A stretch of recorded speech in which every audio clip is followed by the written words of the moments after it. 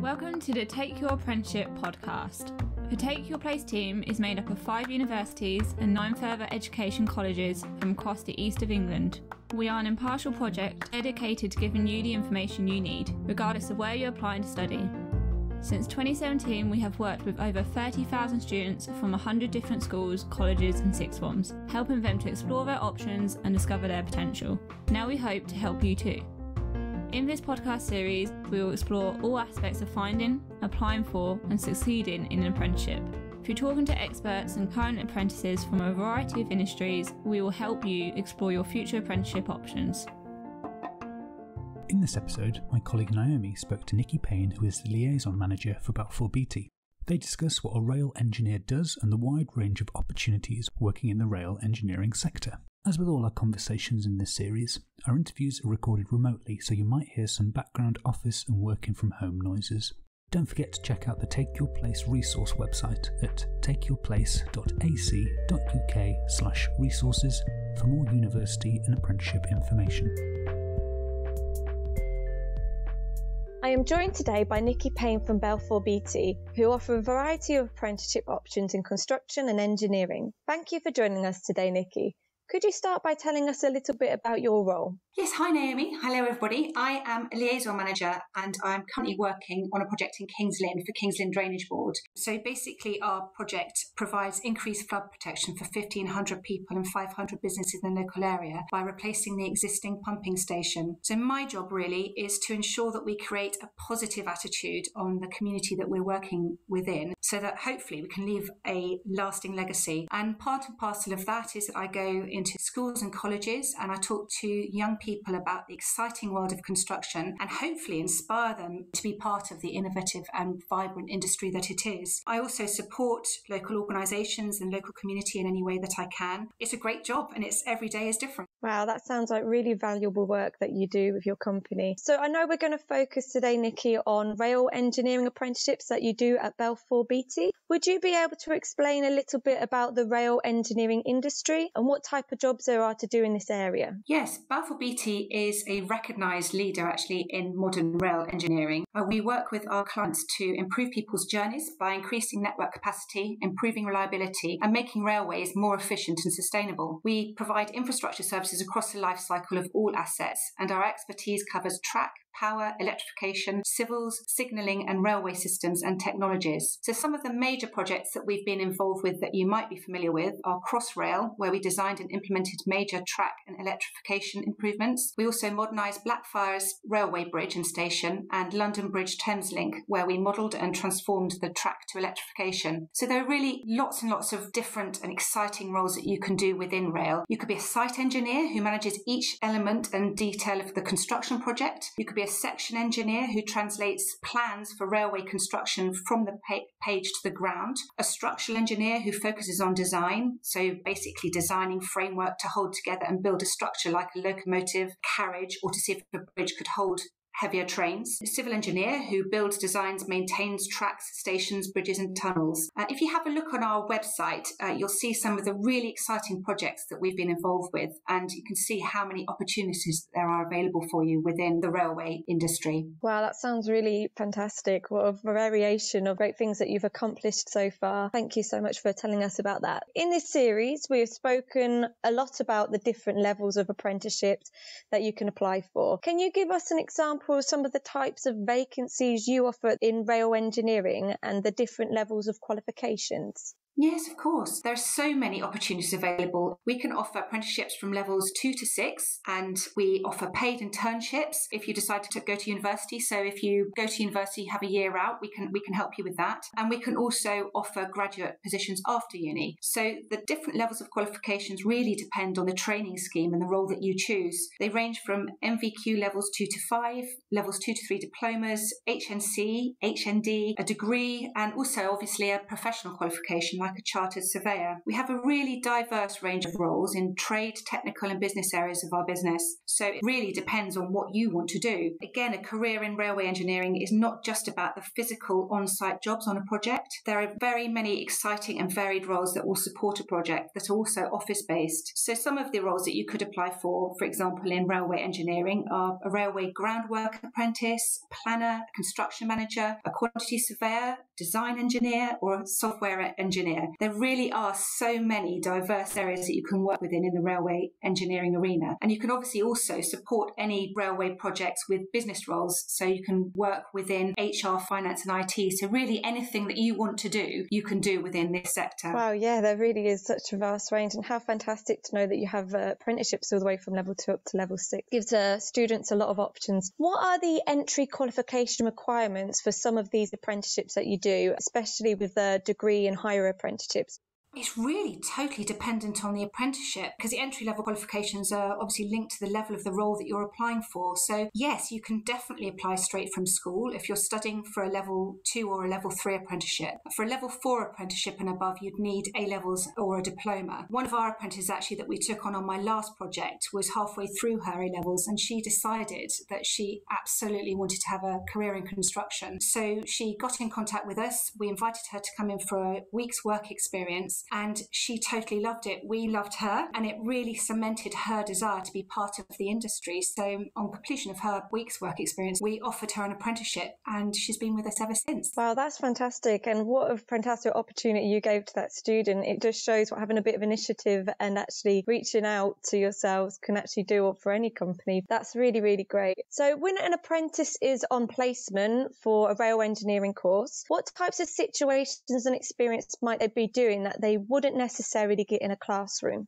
you basically get to fully immerse yourself in, in the industry that basically is a rapidly advancing industry that uses cutting edge technology. So you get the opportunity to work within different disciplines, such as rolling stock, signaling, electrical, mechanical, and telecoms. There are so many different exciting roles and opportunities in railway engineering. And as I've said before, we'll always look at mirroring the modules that you study at college with the job experience. So give the opportunity of studying different people within different disciplines in the project so that you get to really really good idea, not just of, of what you're doing and your trade, but all the other elements that, that make up that project to make up the business. So basically, you'll be able to, to apply everything that you've learned in theory in college with on the job, on site experience. Balfour Beatty are also members of the 5% Club, and that means that at least 5% of our population comprises of trainees, apprentices, and graduates. And that really does demonstrate our commitment to our young emerging talent. They, we want them all to get the maximum benefit they can from their apprenticeship with us. And as part part of the 5% club, they will have the opportunity to network with all the other apprentices within the business. And further down the line, they're encouraged to promote their roles in schools and colleges and to become apprentice ambassadors. Oh, that's really lovely. It's a really lovely project. The fact that they can then network with other people in similar situations and share that experience is wonderful. Exactly. What type of strengths and skills would be ideal for someone choosing to go down this pathway? It's really good to have an interest in the rail industry, but also an interest in fixing and repairing, in design IT. Maths and English are important and STEM subjects are really beneficial. But again, it's all very dependent on the level of apprenticeship and the role that you're moving into. In terms of strengths, we'd look for someone with good written and verbal communication skills, a definite team player, the ability to form good working relationships, to be good at problem solving, to be good at prioritizing workloads. And it's really, really important to have a positive can do attitude because we can teach you skills, but we really need you to have a positive attitude that makes us want you to be part of our team. Would you recommend trying to get work experience before putting in an application? It's extremely important to get work experience. You're much more likely to get a job if you've got work experience on your CV, and it's the ideal way of learning about the industry that you want to be part of and the role that you want to do. We've got a really good example of a, a young lady who got in contact with us because she wanted a construction apprenticeship. So we invited her to come for a week's work experience, and at the end of that week, although she really enjoyed her time with us and we really enjoyed having her there, she decided that a construction apprenticeship wasn't for her. And that's great as well. That, you know, that's that's good for an employer and it's good for the, the young person to to realize that, you know, maybe that's not the direction that they want to go in. But,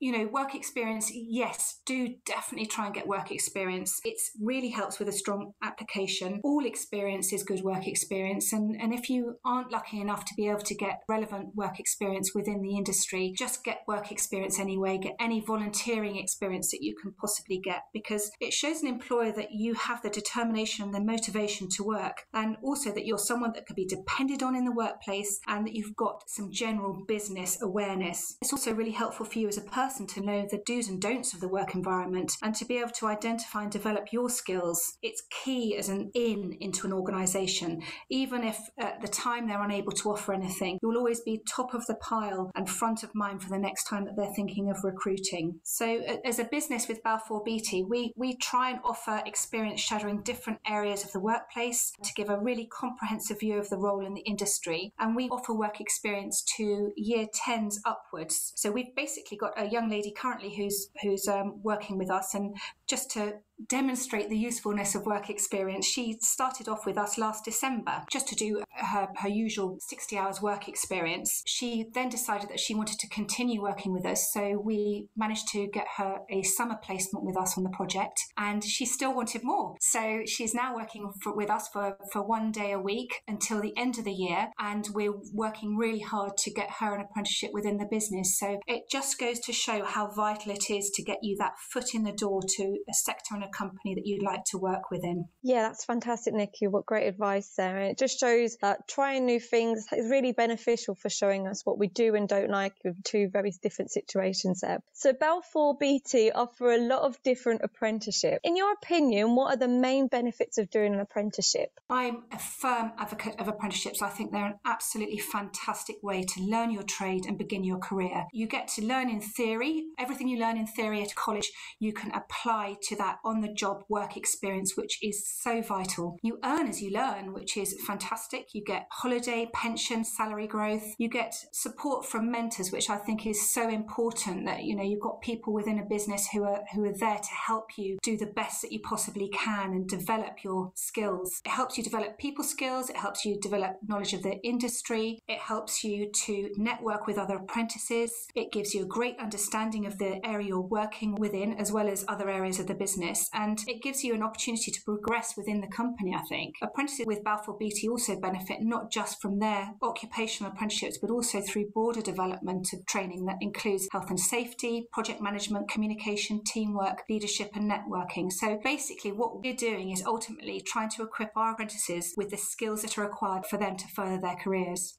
Where is the best place to look to see current apprenticeship vacancies? And are there specific times of year when certain positions are available? Best place to look is to apply online on our website. So if you apply to balfourbeattycareers.com, that basically brings you onto a website which you will put in what role you're looking for, the location, and it will come up with all of the apprenticeships that we've got available. So the apprenticeship window is usually from January and it will usually close at the end of June. Perfect. One of the huge benefits of doing an apprenticeship is a chance to earn a salary and also train. Could you tell us a little bit about the starting salaries that the different apprenticeships that you offer have? I can't really because they're all different and they're obviously based on the role that you're applying for, the experience that you've got, and also the, the job location. So I can't really give you any idea of the salaries. But what I can say is that Balfour Beatty offer extremely competitive salaries as well as a great range of benefits. With any apprenticeship, there will be an element of studying as well as being on placement. Could you tell us a bit about how the course works with yourself and the training provider that you use? Well, usually it works that you have um, four days a week on site or in the office and one day a week with the training provider. So we'll always try and mirror um, the on the job experience with the module that you're studying at the time. And we also, as I said, like to enable our apprentices to shadow different disciplines within our business so that they can get a really comprehensive comprehensive view of the different aspects of the project and the business. In terms of the training providers, we've got ties with the College of West Anglia, West Suffolk College, Anglia Ruskin, Cambridge Regional College, but all different apprenticeships have different training providers. So we'd obviously look at who provides the course for the apprenticeship that we're offering. Could someone doing a higher level apprenticeship with Balfour Beatty expect to be offered a job at the end of their course? Well, all of our apprenticeships are actually permanent contracts. So, an apprenticeship with Balfour Beatty is what we hope will be the beginning of a long lasting and very exciting career with us. Lovely. Thank you so much, Nicky. Before you go, do you have any final top tips for someone looking to apply for an apprenticeship? If you have a think about the soft and transferable skills that you have and highlight those skills, so they're the skills like the communication, the a good team player and positive attitude. So highlight those skills on your application and have evidence that you can back them up with. Look at the job description, tailor your application to fit that job description and make you the perfect person for the job. Get some work experience. As I said before, it is so, so important and it really helps you to build your CV. It helps you to put yourself above your, your peers who don't have that work experience. And it also helps to back up the skills that you say you have with that work experience. I'd also say as much as you can, try and polish up on your verbal and written communication skills. Stress what a positive, enthusiastic attitude you have. We can basically teach you your trade, but it's really important to have that positive attitude that will make you an invaluable member of our team. And the other thing, I, guess, is to really research the role that you're applying for and really research the company that you're wanting to be part of. You research Balfour Beatty. We want to know that you want to, to start your career with us and that you want to build your career with us. So those are my top top tips, really. Fantastic top tips. Thank you, Nicky. Thank you so much for your time again. That was really lovely. Great talking to you. Thanks very much, Naomi. Thank you for listening and don't forget to subscribe to our future podcasts at soundcloud.com slash take your place or on your favourite podcasting app. You can also find us on Instagram where we are at take your place underscore HE, on Twitter at take your place HE, and on Facebook at facebook.com slash takeyourplace he forward slash. You can also email us with any questions, requests, or just let us know what you think on info at takeyourplace.ac.uk.